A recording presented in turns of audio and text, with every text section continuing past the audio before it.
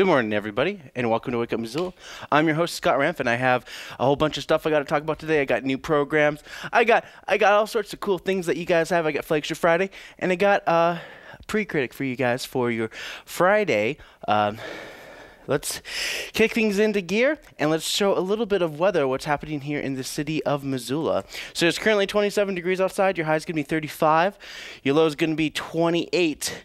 And then later this week, it's only going to pretty much stay that way with uh, chances of rain and snow mixtures happening pretty much all weekend long. It looks like Saturday night, the low is going to be 31. So it's going to be a little more rainy than snowy this weekend as we go into the weekend in mid January. So it is a weekend. It is uh, January 18th today. So I hope you guys had a good couple of days. Um, I'm going to be talking about what you guys can expect and do during this weekend later in the show for your Missoula events. But right now, let's talk about some news items that are happening.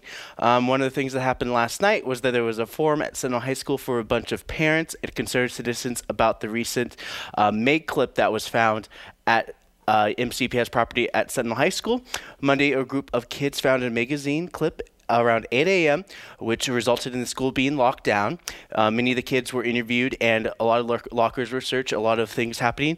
Of course, upon further investigation, the clip belonged to a handgun that has yet to be seen. Of course, at the forum on Thursday evening, drew about 60 guests. Principal Ted Fuller, joined by Sentinel administrators, school district leadership, and police department, um, voiced satisfaction with how things got done overall. Construction caused many weak points in security, um, in which security cameras that would have re- uh, revealed the identity of the person were down at that time. Um, there were many rolling blackouts during construction, and um, the principal and staff had to spread the word about the lockdown um, via a messenger app. Um, there, of course, the Q and A forum lasted last night. Uh, they had their presentation, and then the Q and A lasted for about two hours. A lot of people saying a lot of good things about MCPS. A lot of people asking if they should be metal detectors, and uh, Principal Ted Fuller said that that would just add extra stress to a, a already stressful situation, and they want to make sure that um, people, the kids are safe, but most importantly, comfortable. Um, police staff and administration were, uh, if you were want to talk to them or have any concerns, you can call the MCPS number at 728-2400 or you can find out more information at mcpsmt.org. In state news, Billings is looking to try again when it comes to their non-discrimination ordinance uh, in Missoula. Uh, much like Missoula, um, Billings is looking to protect peoples of Missoula so they can get jobs and places to live without um, persecution for what they believe in and uh, what their life choices are. Billings High School students uh, started to appeal to the upcoming city council election, which will be seeing five new seats in their city council. Um, students plan to use this time to try to cultivate change in their community. In 2014, Billings City Council uh, talked about this. Wow, it's already been like five years. Wow, I mean, um, yeah, it's it's just crazy to think about because um, this is something that happened uh, many many years ago here in the city of Missoula. Uh, but of course, when it finally came up to a vote. Um, in the August meeting of 2014, this, uh, the council struck it down at by 3 a.m. in a six to five vote following hours of testimony. Of course, according to senators, uh, to senior uh, at West. Um, at Billings West High School, uh, Gay Straight Alliance, Ellie Lowe, even though people don't hear about it, it do, that doesn't mean it doesn't happen. She said protecting the most vulnerable in the community needs to be a priority for the city, even for those who don't agree with the lifestyle. In national news, USDA is looking to continue their funding of food stamp programs, and you know, like the Missoula Food Bank, USDA does a lot of grants writing applications, so they're looking to extend this, and they say that they can extend for another pay period. Um, so early February, just around that area is when they're still uh, basically not going to be able to pay their employees to continue a lot of these programs. Many government entities are shut down, on the other hand, and many are looking deep in their pockets for whatever they can. The IRS, on the the other hand, it's called a furloughed employee. So they're calling employees back, about 46,000 employees, back to work without pay to help process tax refund for tax filing season, which begins January 28th for individuals. And just so you guys know, you can't skip out on taxes.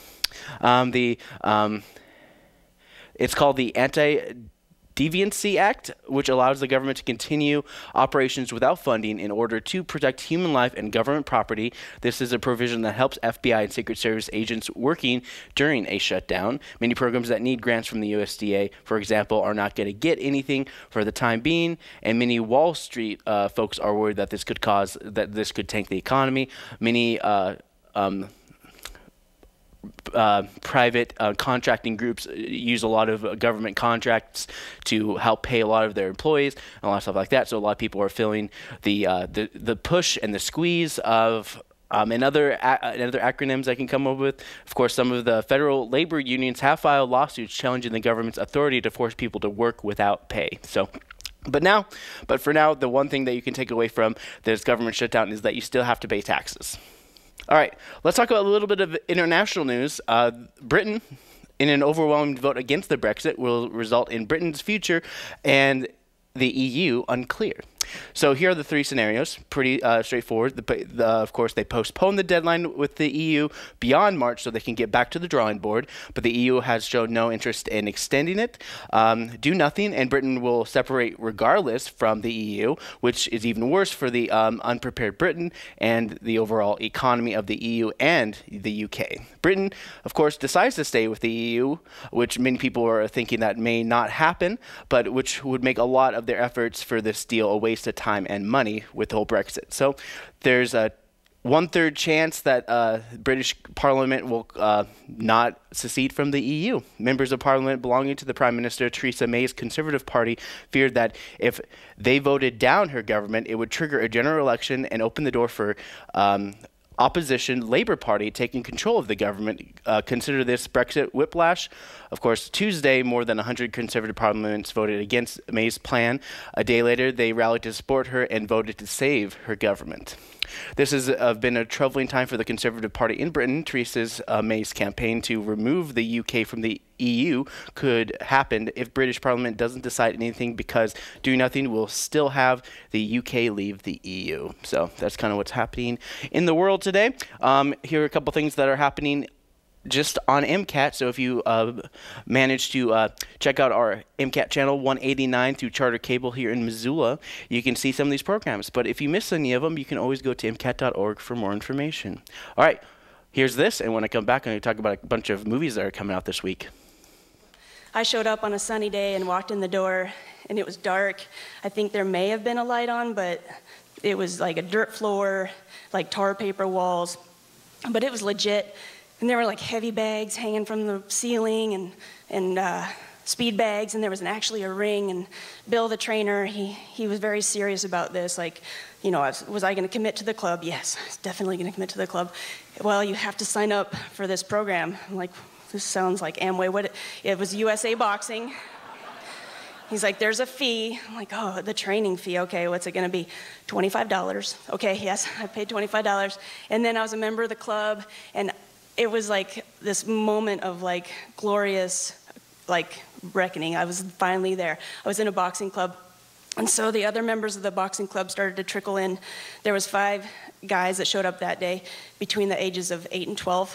And um, how many of you know about Crow tribal politics and have read it in the paper? When new chairman comes in, there's a big turnover. About 300 employees get let go. It doesn't matter if you're Crow or not. Well, I, I didn't get let go, but the, because I'm related to everybody. So I didn't get let go, but the attitude that a lot of my um, uh, tribal members had coming in was what didn't feel good. I, and I didn't feel like I had as much support. And this uh, opened up, and I thought, okay, I'll change, switch gears, and I'll come here. And uh, I came here, so I, I, I went down from 98 staff, $8 million budget, down to uh, not even a million, and about 800,000 and about 15 staff. like, wait, where's the rest of the money here? And they said that. And I'll have to say, speaking of dinners, these ladies would put up and preserve these vegetables that they grew to get them through the winter months. I believe some of the finest dinners that I've had out here was made with these home processed, homegrown vegetables. The main course for the meal, if it was meat, was usually elk or venison, most generally coming out of Johnson Creek and Sheep Mountain. So these are memories I have of this. I, I, I have been fortunate enough to travel Germany, France. I've eaten all over the world, as you can tell. And there's no finer cuisine than that that was grown here in Bonner, along with meat that come off Sheep Mountain. That was about the best. One of the forms of hunting, which most of you know about the buffalo jumps, we've got two parks in our state park system. Um, First Peoples Buffalo Jump up by Great Falls, and then Madison Buffalo Jump, which this drive line here shows a picture of um, over by Bozeman.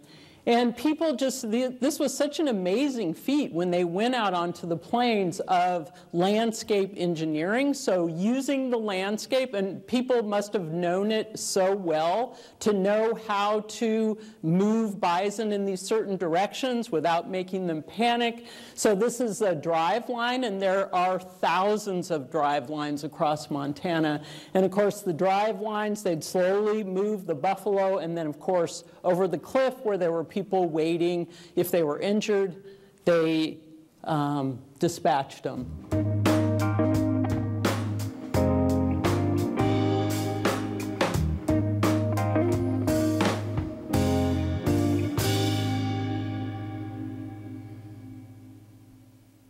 Hey guys, welcome back. Now it's time for a little bit of that pre-critic.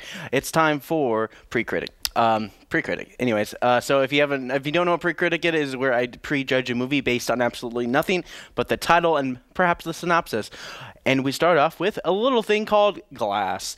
It's a movie. Uh, it brings a group of familiar faces to this M Night Shyamalan film that will wrap up a trilogy we kind of gave up on, and we didn't even know it was a trilogy until. Uh, well, Split came out, which is the second movie of these trilogy, but people were like, oh, it's just some guy. But of course, Bruce Willis is here, and he's uh, in for a treat when he goes out and beats up people with mental issues. And it's true, he does beat a guy with the mental issues. Uh, Bruce Willis guy is. Uh, you know, like, you know, leave the he. Okay, so anyways, uh, in the movie, it kind of be like, hey, leave those cheerleaders alone, and Jay McAvoy character is like, no, Sam Jackson character is like, all according to plan. And this looks like the bad guys teaming up. And, anyways, expect this to go on for a little while. Like, you know, like those those lines, but extended for like an hour and a half. Yeah. Up next, we got uh, an anime movie. So if you like anime from Japanime, uh, you can get ready, uh, get your gi ready, and get ready for the kicking and fighting adventure that is Dragon Ball. If you don't know that kind of stuff, um, you obviously didn't grow up with teenage boys. Um, they're all about fighty, fighty, punch, punch for quite some time. And of course, one boy grows up to be a symbol of peace, one becomes a reluctant hero, another person is basically just like a rage machi- machine or whatever. So a person comes down, becomes a symbol of peace and savior of Earth more than a few times. So he's basically like Superman.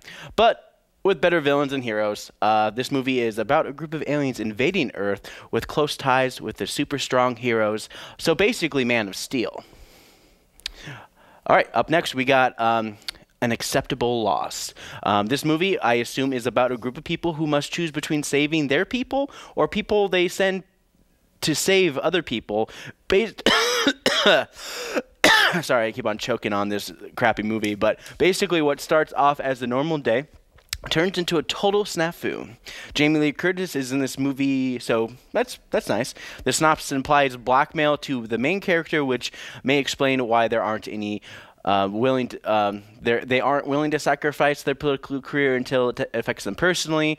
And um, anyways, any political theorist has too much to say about the current political system. So you may want to pass this unless you want to just hear talk politics and kind of stuff. I think that's what this movie is mostly about. So you can expect that and more. But here's the movie, and um, I'll, I'll kind of spoil it for you. It's a movie by the Flagship Kids, and it's it's basically the Hunger Games. There you go. It's the the kids that said, "Oh, let's make the Hunger Games." It's like, what do you want to call it? The Thirsty Games. I'm just like, all right, here it is.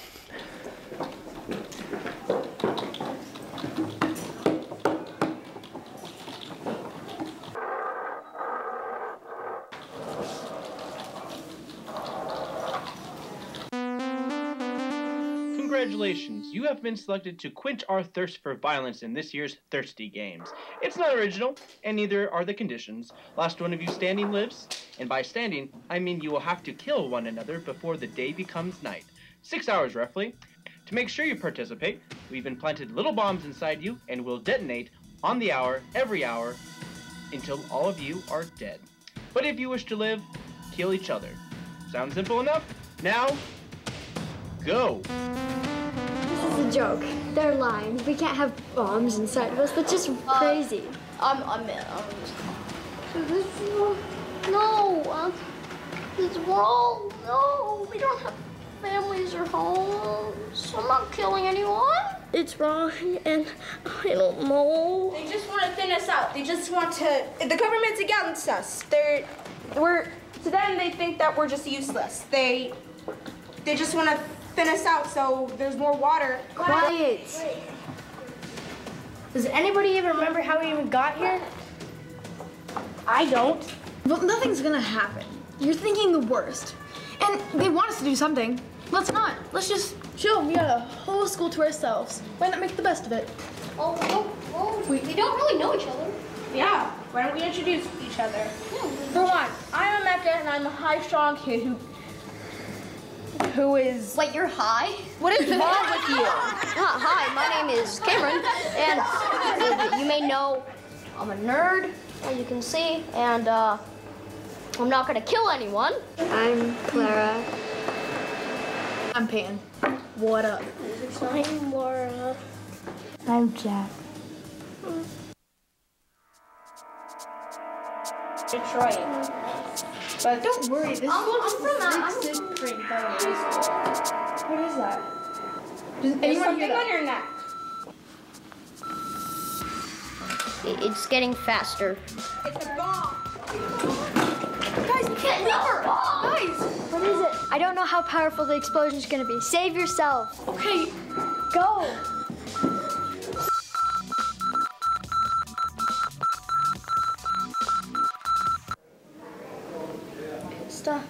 Maybe it was just a death. No, no, no, no, no, no, no. I know I didn't have a family or a home, but still, no, I don't want to die. I don't want to die. I'm sorry, I don't Adam. want to do. Why? Why? Why?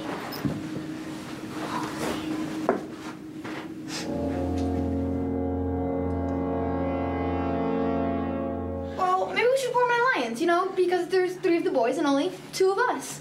I mean, I guess so. Move! Oh. Ah!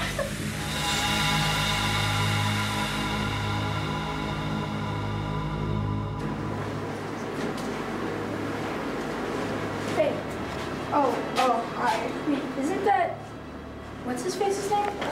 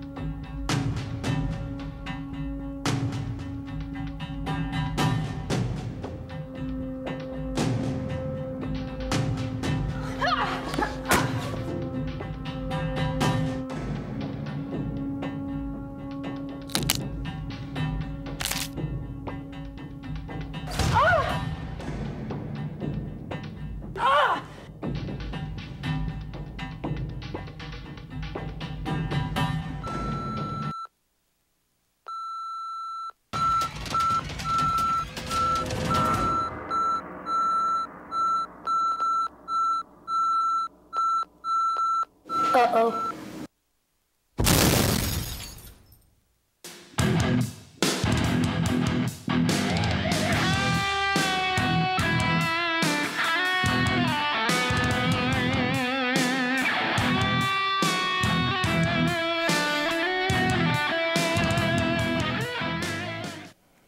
Sweet. Let's talk about some city council stuff. So the city of Missoula is looking for uh, getting being a part of a class action lawsuit against uh, people, uh, um, folks, or companies that are uh, basically selling medication uh, to hospitals uh, that have opioids in them. So that's a huge epidemic that's happening is uh, prescription medication abuse and addiction as well. So one of the things that the city is looking to do is jumping on a um, uh, like a, a kind of like a, a, nationwide campaign to help uh, prevent this. So of course, across the uh, the country, states, counties, cities, and towns are joining class action suits aimed at uh, recovering at least some of the costs incurred in providing for public safety and welfare as product of opioid addiction. So, just all the results, all the things that happen afterwards, the addiction, the problems, um, basically looking for uh, satisfaction. Uh, the city of Missoula is looking to take a step to make change on the local level,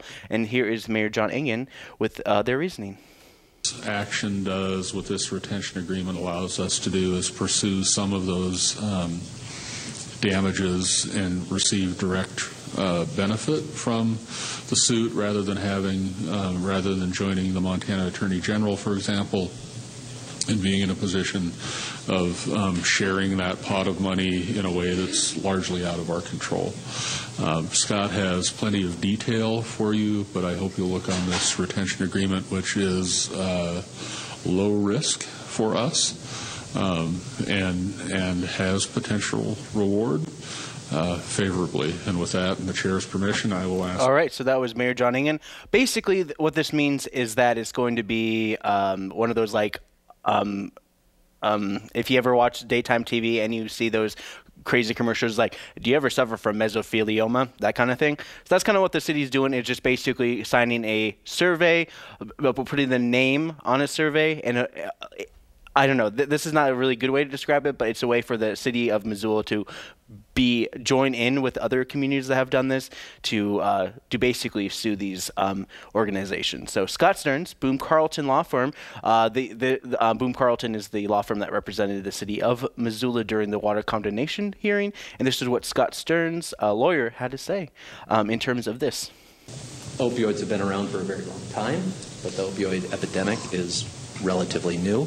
I think OxyContin was only hit the market in about 1996, but the effects since then has been devastating. The overprescription of those drugs, the treatment of pain, the way we treat pain is very different. Uh, the way doctors were incentivized to prescribe things that before didn't get prescribed for certain post surgery type things has changed dramatically, and the effect has been uh, a huge leap in the mortality tables. A lot of the allegations that you see in the complaint that I believe was attached, uh, the draft complaint was attached um, online, uh, are based on the mortality tables uh, and statistics kept by the CDC. And you can see a huge trend line up, people dying from opioids since the late 90s. And this lawsuit seeks recovery of damages all right, so that was Scott Stearns, and um, of course, you know, since it's a law firm, they're looking for a lot of people who have insights and who have experienced any kind of opioid uh, crisis within their family or within uh, their relationship. So this is a um, an interesting thing that they're going to be talking about. Of course, the rest of the meeting uh, um, dived into prescription drug drug deaths and illegal drug use with opioid medication. There's just a lot of information that they kind of went out there with their presentation. But of course, it's a seven billion dollar industry, which also contributes to damages as a result and punitive damages, statistics are that the CDC database, and Mr. Stearns went into it with more detail, you know, like lawyers do. Um, Gwen Jones asks how Missoula would be involved, and um, this is uh, Scott Stearns' response about how much effort Missoula will have to do. Of cities and counties and townships and the like have filed these lawsuits. The federal system has this MDL process that allows one judge to preside over preliminary matters, procedural matters, and actually have some of the cases go to trial first, and they become kind of test cases for all the other cases. So Judge Polster in uh, Cleveland will likely be presiding over this case, at least for procedural matters, preliminary matters at first. Uh, what I'll also tell you is we're a little later to the game than many of the back east communities and, and, and counties. I think the first trials in this matter right now before Judge Polster and the MDL are set for September of 2019. Now, of course, those deadlines could change and things could get extended out, but uh, we're seeing um, this litigation already happening. We, we, we can tell, you know, based on like-sized communities, what is likely to happen in a community like ourselves. We're, um, we're, we're seeing how experts approach these in other uh, similarly situated towns.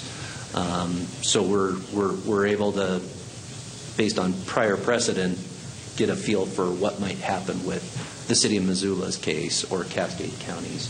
All right, so basically, this is a, you know, uh, the, the way that they kind of describe this in the media is it's kind of like a pre-class action lawsuit, while they're trying to get this on the uh, the grassroots level to make systematic change within the uh, nation. Um, Mirtha uh, Becerra also makes a suggestion uh, to Scott Stearns to look into in terms of, of opioid addiction. Um, Native American communities are among the most harmed by the opioid epidemic, and usually they're left out of the conversation. I'm just encouraging you to reach out to them and put um, them at the table, or if you're not planning on it, um, I guess that's my question. Are you are you reaching out to them because I think their statistics really speak to the urgency of of uh, taking this issue forward. Uh, I've personally dealt with two of the seven tribes uh, attorneys on these issues, including uh, Flathead Salish Kootenai. Uh, they Flathead Salish Kootenai has signed on to the litigation as well uh, with their already existing national council that they work with, but I have told them that I am happy to work with them, especially with Lake County's involvement as well. Uh, obviously, there's there's synergies to be gleaned from working together on these issues. Cause All right, so that was Scott Stearns, and I'm gonna, and that was the last quote from the meeting. Um, and of course, uh, um, there, there's this is an item that will go to the consent agenda, and this is basically to put Missoula on retention for future actions uh, for this opioid crisis. And um, Missoula voted in favor to move it to the consent, consent agenda, which will be talked about on Monday. So that was a committee of the whole meeting. Up next, we got Parks and Conservation, and of course, over the past two years, the city of Missoula, Trout Unlimited, and Montana Fish, Wildlife, and Parks have worked collaboratively, collaboratively to collect data and plan pl- a project to address dam removal. So the Rattlesnake Dam is up for removal and the restoration, but a lot of time, but a lot of times there's a lot of big plans happening. In fact, um, with the water condemnation, it all goes back to the water condemnation hearing back here in Missoula a couple of years ago.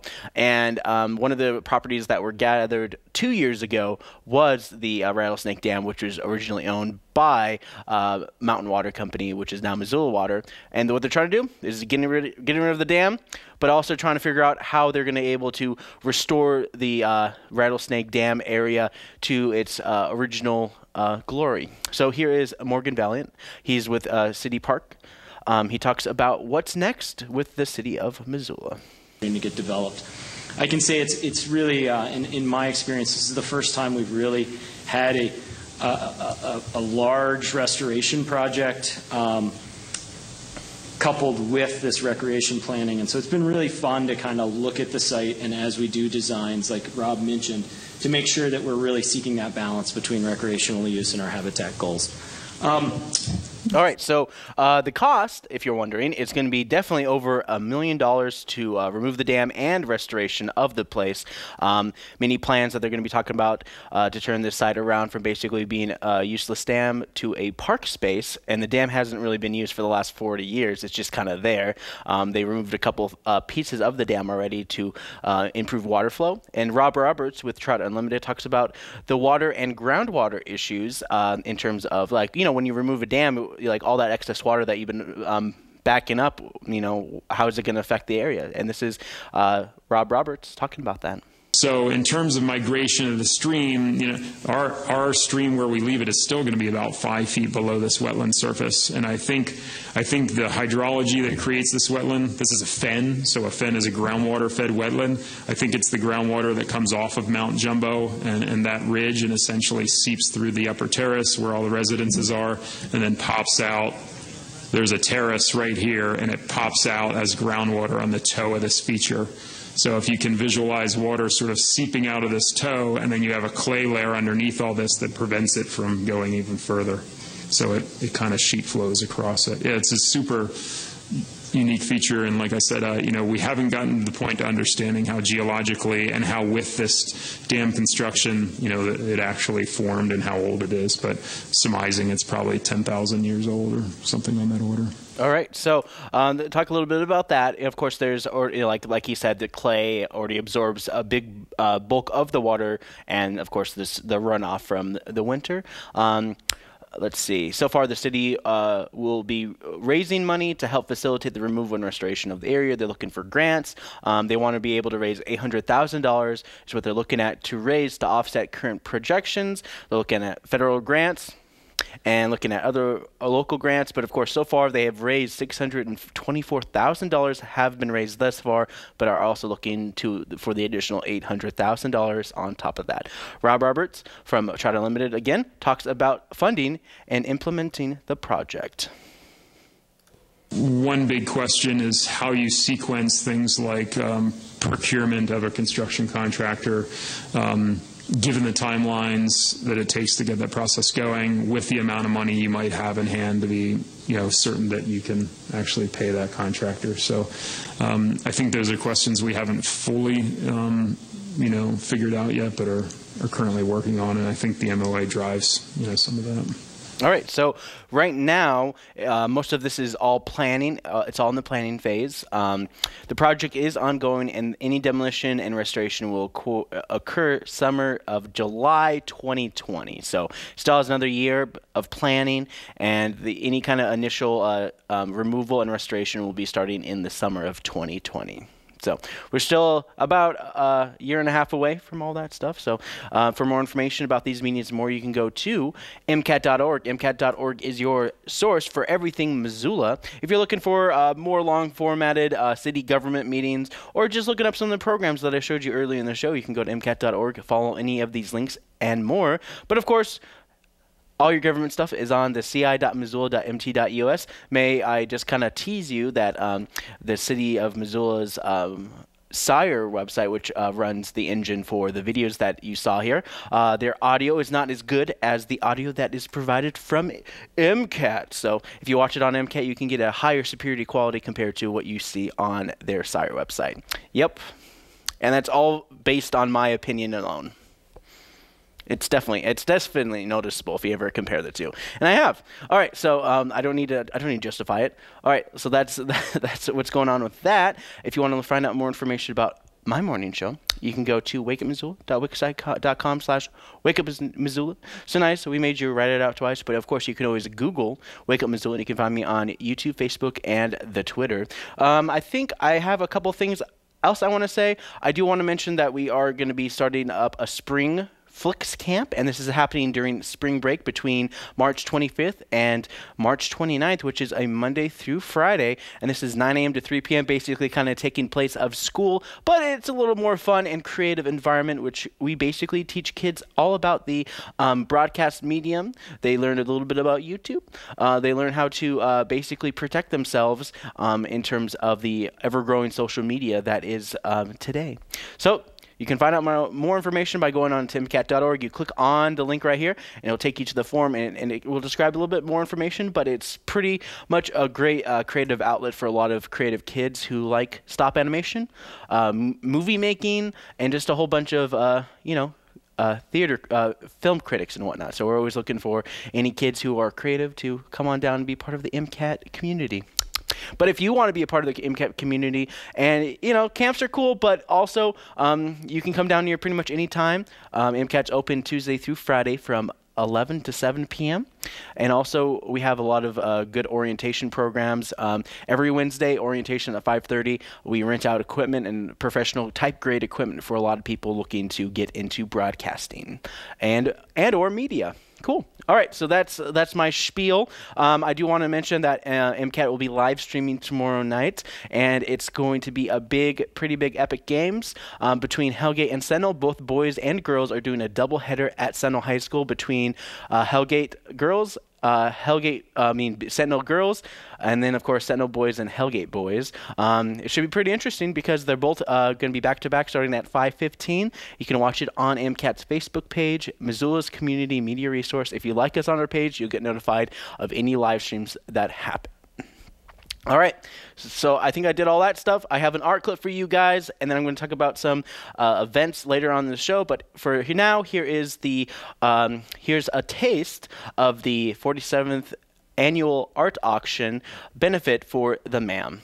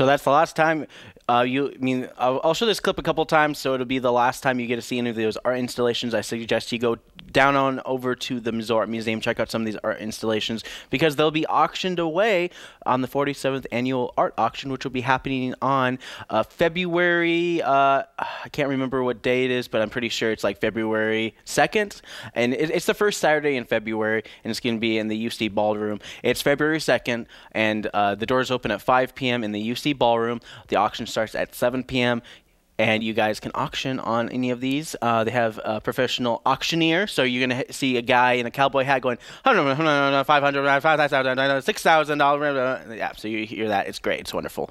Just seeing that alone is amazing, just to watch.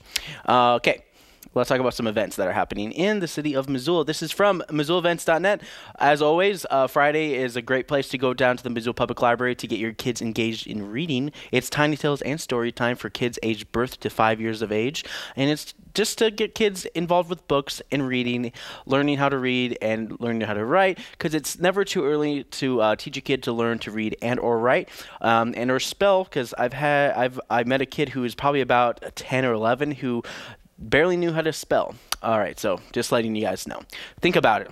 It's really important. Um, hands-on science, blood typing. Spectrum Discovery Center is doing a uh, different kinds of blood and how scientists detect blood types at the Discovery Bench today. Um, they're and they're also doing light play in the makerspace. Ooh, that was oh, that hurt everything. All right, Missoula Public Library is doing yarns and watercolor. If you're interested in doing some stitching, maybe make a hat or uh, scarf. Yarns is the place to be at Missoula Public Library. Watercolor is another great place. Uh, usually has about eight people you have to RSVP by going to, uh, by calling 721 book for more information. Cribbage and Bridge at the Missoula Senior Center. If you're inter- interested in uh, throwing down a little bit of cards in a card game, you guys can go to the Missoula Senior Center pretty much every single day during lunchtime and enjoy Cribbage, Bridge, Scrabble, and all sorts of wonderful gameplay. Endeavor Friday uh, board game day.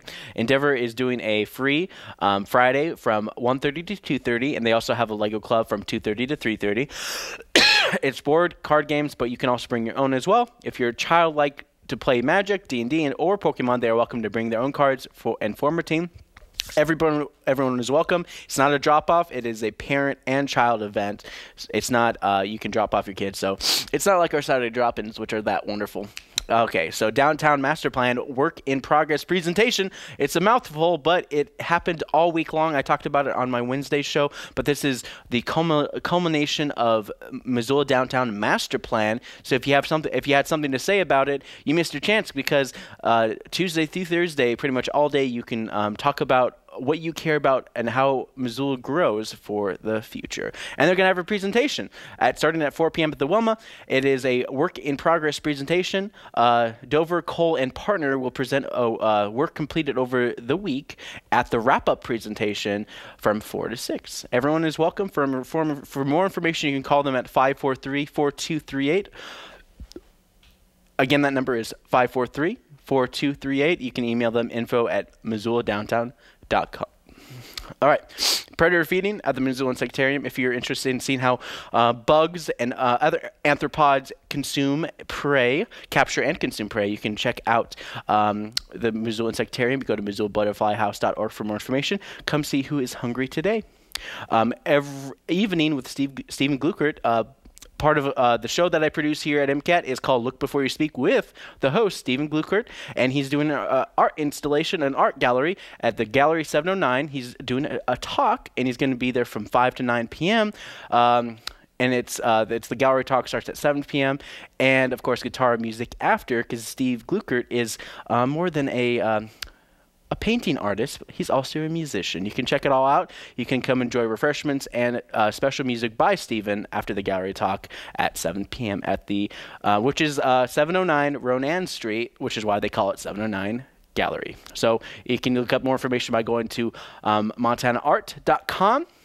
Um, or again, the number is 541 7100. Again, that number is 541 7100 for the 709 inside the uh, Montana Art and Framing. Okay, just a nice little plug for my buddy Steve Glueckert. But family friendly Friday is at Top Hat. Top Hat is a great place for a family, drink specials, all that stuff from 6 to 9. Uh, Calendar Girls, uh, MCT, Missoula Children's, or Missoula Community Theater for the uh, play. This is the third play of the season. It's called Calendar Girls, and it's going to be at 7:30 p.m. nightly, um, with 2 p.m. Uh, 2 p- 2 in the afternoon matinees on Saturday and Sunday, with an earlier evening show on Sunday at 6:30. And this will go on this weekend and then next weekend, and that's it. You won't be able to see Calendar Girl for another 15, 16 years in the city of Missoula and happening um, almost it seems like it happens every month, but this is a drag show. Uh, drag show is happening uh, tonight at the Badlander. It's part of the UM Women's Resource Center. It's proud to present the Panty Rock Drag Show. It's a fundraiser for the Vagina Monologues uh, in an all-bodied and all gendered production. All proceeds from the Vagina Monologues will be donated to the Student Advisory Resource Center, SARC, at the University of Montana. So it's uh, 18 plus. $5 cover, and you can dance the night away right after you watch a bunch of drags do some lip syncing. Lip singing. Cool. All right. So that's pretty much it for your Friday events. I am going to talk about some Saturday events, but I do want to show another art clip for you guys, and this is one that will be ending in mid February.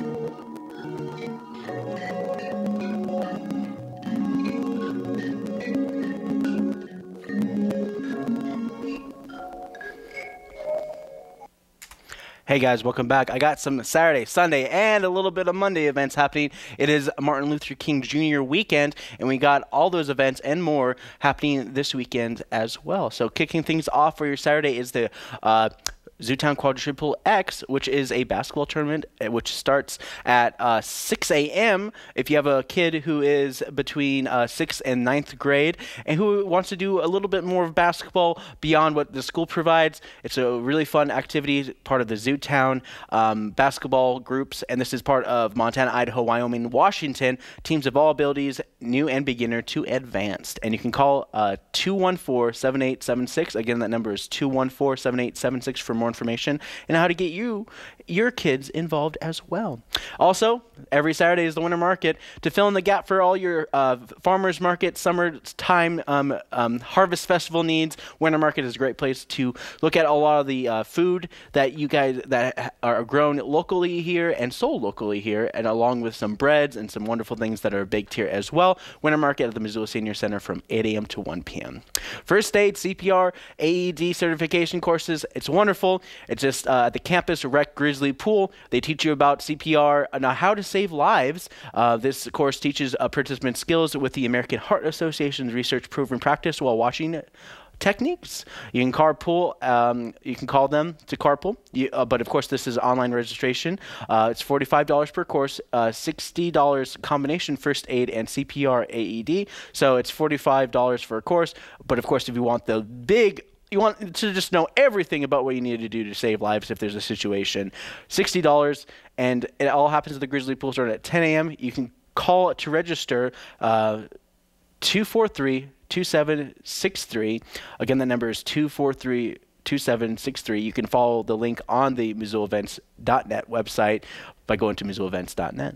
Um, a day of Buddhist practice, a Unitarian Universalist Fellowship Wow, that's a lot of use. Uh, once a month, uh, Lama uh, David Curtis, um, not with two L's, but with one L, uh, teaches on a subject of Tibetan Buddhist mind training techniques, which offer practical methods for exploring and reframing our thoughts and per, uh, perceptions to bring about more peace and ease in our daily lives. And you can sign up and learn more about this by going to bigsky.mindmontana.org. It's nice meditation Buddhist something easy and chill.